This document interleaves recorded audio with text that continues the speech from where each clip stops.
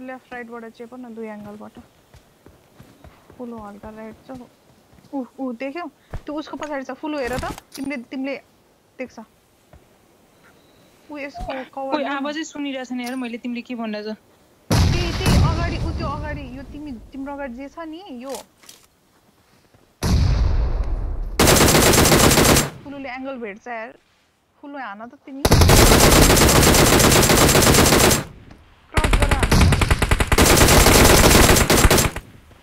Tami. Upi!